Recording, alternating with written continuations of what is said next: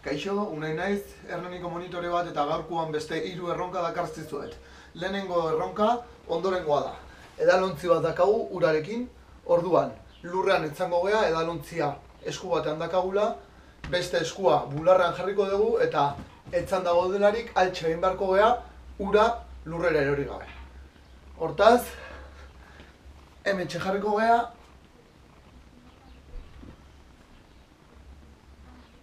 etzan eta